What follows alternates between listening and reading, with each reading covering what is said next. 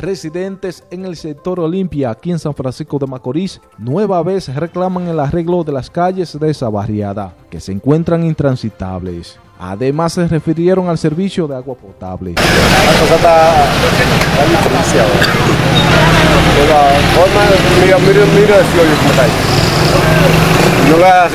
Esperando que aparezca un muerto. Ah, mire demasiados años tiene eso así en esa condición y dicen que van a hacer mañana, que van a hacer mañana y no hacen nada. Eso está que da pena para allá abajo. Eso, eso da, da pena para allá abajo con esa gente. Y el agua se la mandan dos días, duran 10 días, no le mandan agua y se, esa gente seca para ¿Qué allá. van a hacer? No tiene muchísimos años haciendo lo mismo. Y ve ahora la Junta de Vecinos metió una tubería privada por el medio y le negó el agua a toda la comunidad. ¿Por qué? Porque la, una señora ahí le dieron 350 mil pesos y ya ellos son dueños del patrimonio público. NTN, su noticiero regional.